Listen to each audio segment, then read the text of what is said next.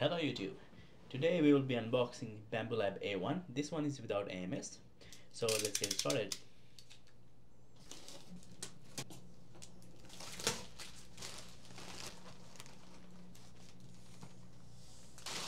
Taking it out was harder than I thought.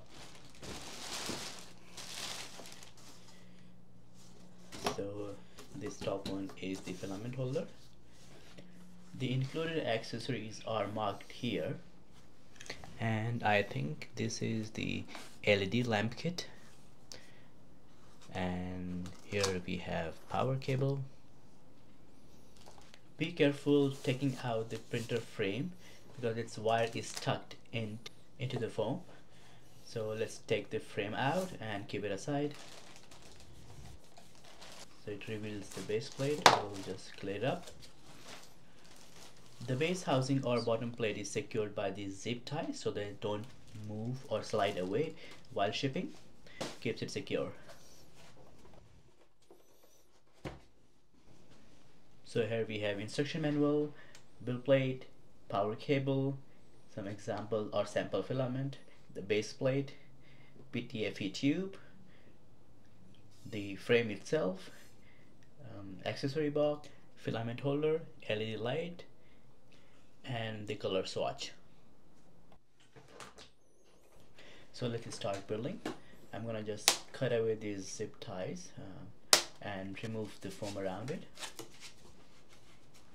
Also remember previously this build plate was secured by screws at the back. That is no longer the case and they are only secured by these zip ties. See it's moving now. Let's keep it aside and we're gonna cut away the zip ties from the frame itself. Be careful because some wire are close.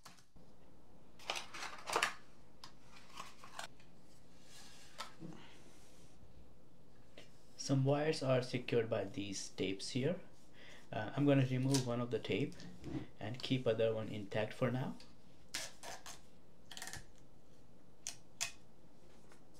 We need to remove this cover there are screw holes that we need to use to secure the frame into the base plate. You can find groove right here just push it up and slide it out. There are screws hole that is marked with green where we need to put the uh, screws from the accessory box. The screws in the accessory box are marked as well like what screw goes where so it's really uh, easy to follow like this is for a stiffener that we are not going to use for now. This one is for the purge wiper. And this one is for the base housing. This is what we're going to use now. I'm gonna align the frame to the base plate. Um, keep the wires away so that they don't tangle and then take the base plate um, tilt it 45 degrees and let it fall into the grooves. You might have to do a little bit wiggle here. And it should fall in place nicely like this. We can now put all the screws in these green marked holes and tighten it. It is nice that they have given this color coding and it's nice to follow the instruction. Um, we can now slide the back plate and it's to reveal two other screw holes.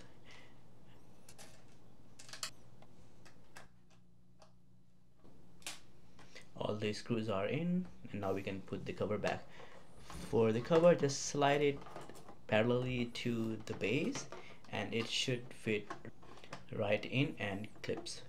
Here's the close-up for this. Just align these grooves and push it I couldn't find the purge wiper but here it was stuck away in the foam. So check all around your foams.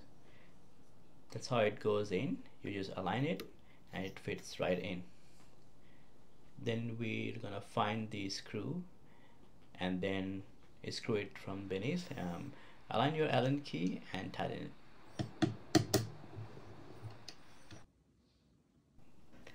we are now gonna put the printer on the sideways to secure the back side of the wiring.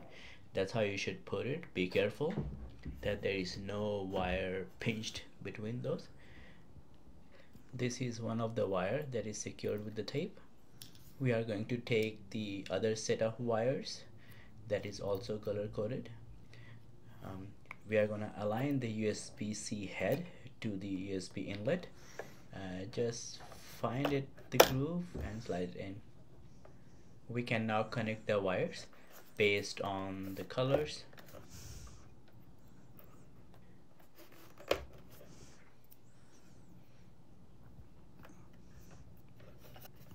It has these grooves for wire management. Just open it up tuck it in and close it off. We are almost done with the back wiring tighten this screw to secure this and we're gonna put the printer back up. Let's flip it over. Um, these are the plastic caps that we need to remove. They are there to protect the z-axis to move up and down during the shipping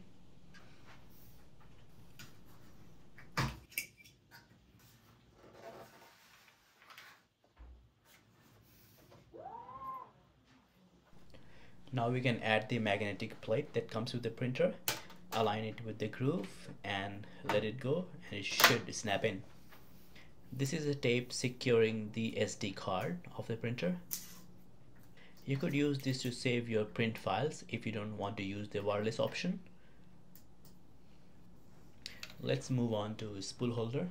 It unclips pretty easily. We're to unclip it and then put it on the top bar where we want it and then clip it back again. For PTFE tube, we can choose any of the filament inlet, push it in, and other end to the spool holder, like so, and this is how it should look like. The printer comes with this wire organizer. We are gonna put PTFE tube to one of the hole, and the black data wire into the smaller hole.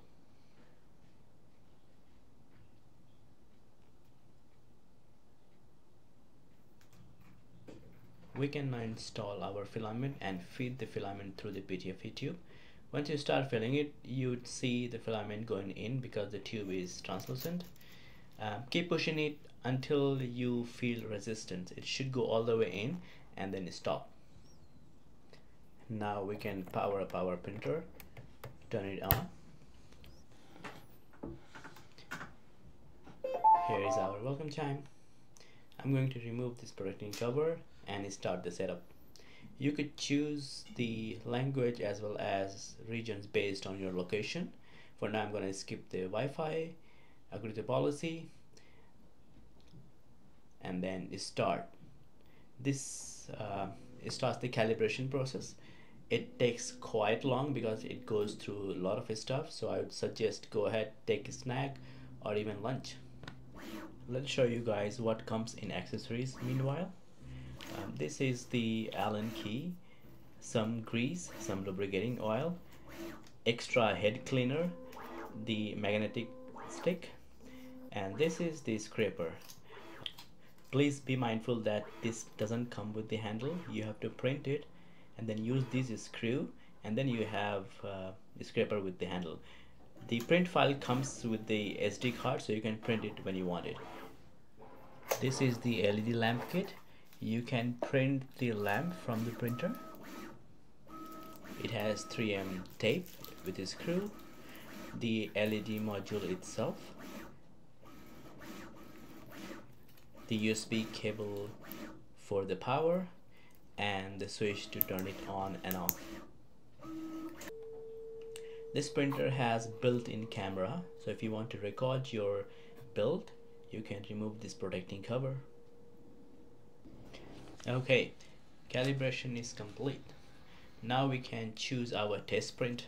I'm going to choose Benchy but if you want you can print other stuff like swatch display board scraper grip and so on. Uh, so let's go ahead and give our printer to print the Benchy it's going to start some preparation including heading up the nozzle head as well as the print bed so we can see that it is pulling in the filament now. And there is infamous printer poop. Okay so let's start printing. It is quite fast. I had Ender 3 V2 and it was nowhere near this fast. So here it is our printer fully assembled with our test print done. Thank you for watching and enjoy your print journey. Bye for now